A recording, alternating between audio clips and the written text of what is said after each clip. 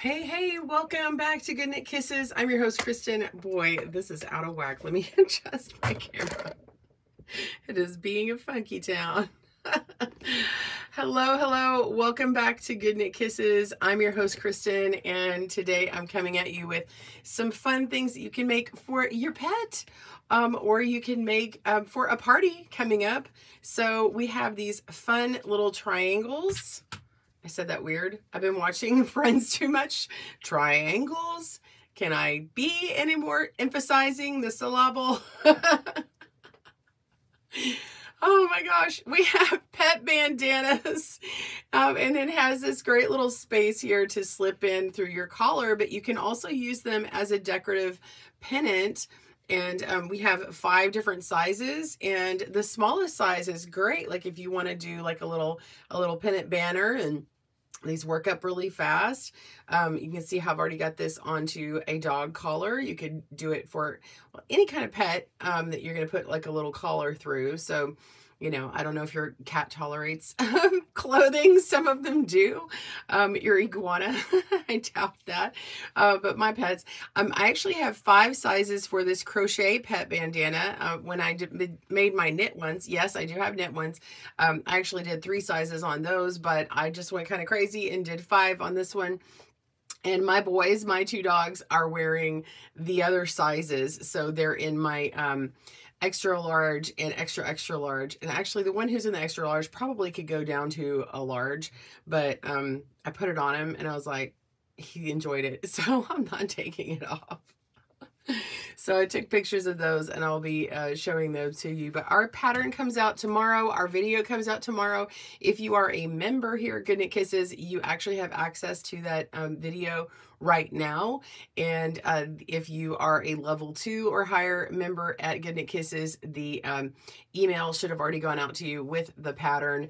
Uh, and there you go. So tomorrow morning on Saturday the 9th, the pattern uh, the last pattern of the year for Good Kisses is going out and it will be crochet pet bandanas uh, that is on our blog and live tomorrow morning. So if you are not part of our newsletter, make sure you're subscribing, goodknitkisses.com, click on that newsletter and do all the things to um, get those. Those um, always have the videos that we've launched, but you can also get them here on YouTube if you are subscribed. Just make sure to get all the notifications and do the things that YouTube wants you to do so that they can send that to you. And hopefully you got a notification today for this live video. If you're new, welcome. I teach how to knit and crochet. Uh, we teach how to knit with needles, but also loom knitting.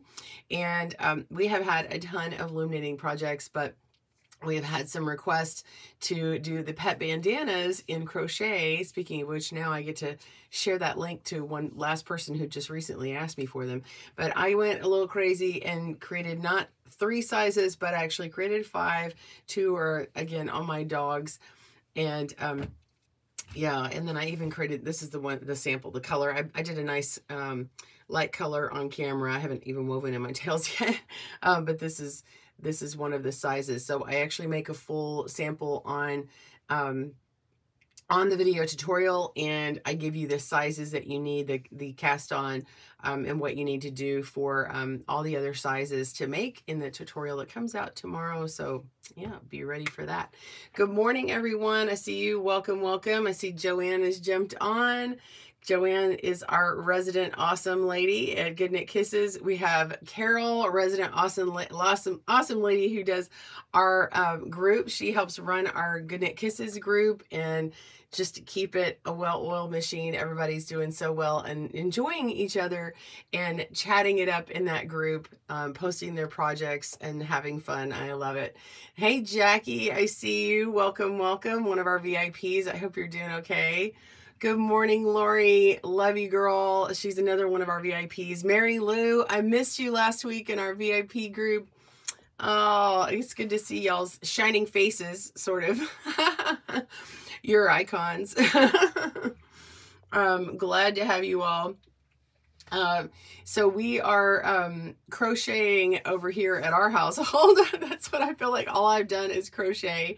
Um, I have a bag I want to share with you guys. I I posted on Facebook uh, my daughter who had asked me a while back. I don't know if y'all remember this bag. This is a sunflower bag. And this, I made two of them. And I did one that was lined and one that was unlined. So this is my unlined version. Hey Alice, good morning. I see you. So this is our crochet. Uh, this is the sunflower bag. Yay. And she actually uses every day the lined version and she was like, Mom, I really want a winter version. And so she went with me one day to pick out yarn. I had to go for another project and then she picked this out. She actually picked this out back in September, but mm, that's how far behind I am. Um, but this one, this version, I have not, um, I have not steam blocked it yet. I actually put it all together without blocking. I know I didn't do that with my other bag, but I decided to in this case and it'll be okay. But it looks really good.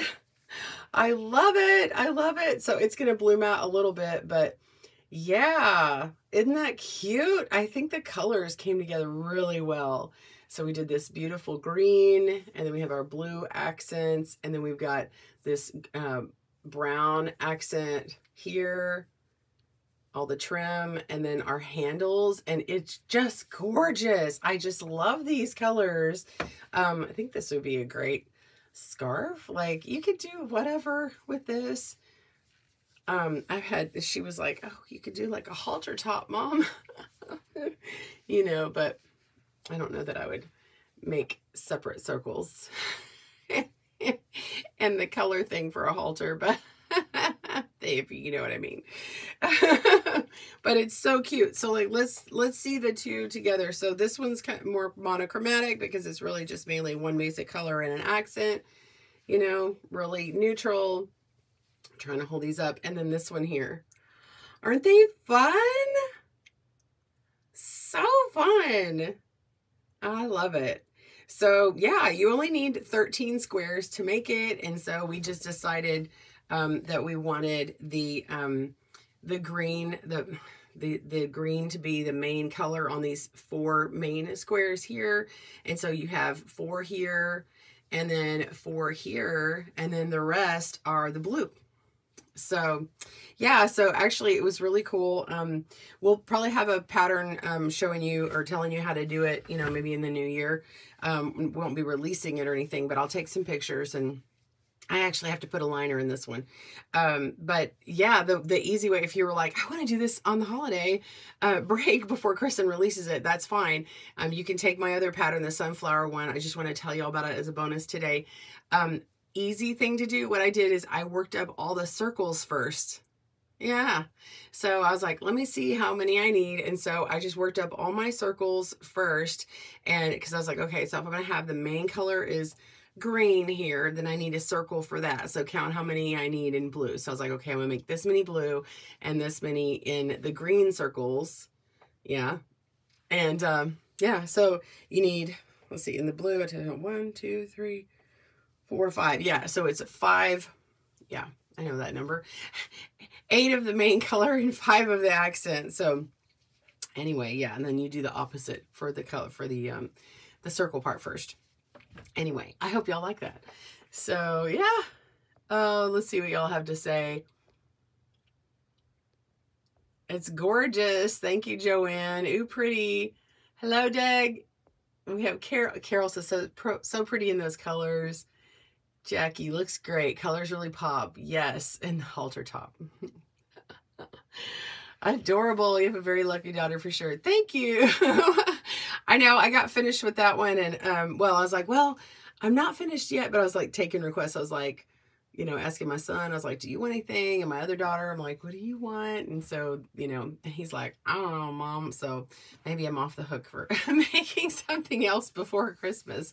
Um, that, I don't care that they saw me make it, you know, but, um, cause the other one, I was like, I want to make sure that she's, she's satisfied with it. She's very particular, but I know that she'll use it. And, and because she really, honestly, she wears, she used this bag like most every day yeah, unless she has something specifically she doesn't need it for. She uses the lined version of this one every day. So I think what I'm going to do is I'm actually going to maybe even build a few more pockets in this one for her.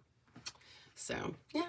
Anyway, um, so if you missed in the beginning, what we're talking about this week is uh, the launch of our crochet pet bandana.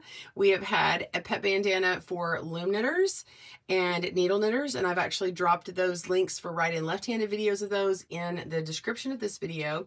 And then we also have the links for the pet bandana that comes out tomorrow, so you won't be able to click on them unless uh, you remember. Um, uh, until tomorrow morning. Um, members always get to preview it um, a, a, day in advance, and then it comes out for everybody else, and then the blog will come out as well. So we have um, five sizes. I'm holding up three because two of them are on my other dogs. So anyway, this is the smallest version. I actually um, worked that one on camera. Um, and uh, when you saw my, uh, sorry, my hearing aid's coming out. Um, when if you saw my loom knitting video um or you know the one with my others i had my dog one of my dogs was a puppy at the time and so this was the size that uh, i made for him uh, for that, like according to that size.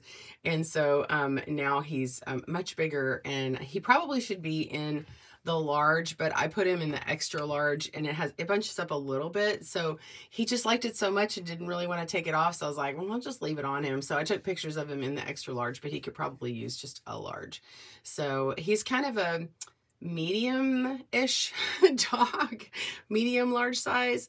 Um, he's a, um, a combination. We, we rescued him. So if you're wondering about dog sizes and stuff, um, so he, we think he's a blue heeler boxer. So a box heeler. The only other person, the only other person, the only other dog I've ever seen, um, they, they called it blue heeler when I, uh, or box heeler when I was looking up to figure out what kind of breed he is. So his has, has kind of that boxer stance, you know, um, or a pit bull stance, you know, or like, it's like a broad chest. Anyway, so he's got like this bigger neck and but he's got kind of a shorter body. So anyway, he's cute. He's kind of cartoonish and fun little ways. That's Rudy. So if you've seen him in the puppy pictures for the loom knit version, the smaller one, that's him. And so he's bigger now. And then we have Ranger, who is our, um, he's our golden retriever.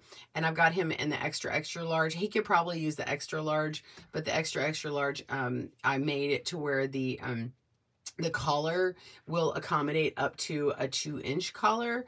So if you've got one of those much bigger dogs, you can do that. And you can also make them longer, make the casing longer. But another fun thing, like let's say we take this out. So by the way, when you make the casing, you could trap this inside as you're um, crocheting. But if you didn't, um, let's see, I'm going to take this out. Another thing you could do is put a, um, a string. Oh, I don't know why I'm doing that. Um, you could put a string in this one. Let me hold this one up. Um, you could make the casing just a little bit shorter and do like a string or a ribbon or whatever and do pennants, hangings. You could have several of them hanging and do a fun little party thing. And you could crochet on top and put a letter. You know, can you spell happy birthday or congratulations or baby or it's a boy, it's a girl or whatever. Do something really fun, slip stitch crochet. And then when you're done with the banner, um, like let's say you did, let's say you did like a baby theme you know, party, but you're like, oh, I want them to hang that in their room. You could leave the crochet, the slip crochet on there, or you could take that part off.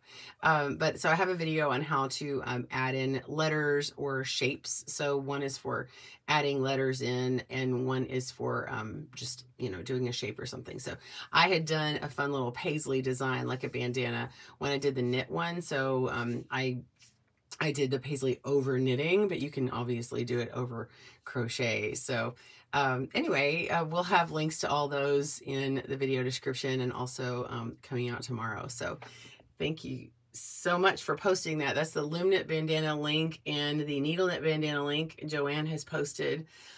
Uh, and then uh, Hi, Shakita. This says, awesome. I'm so glad you're here, by the way.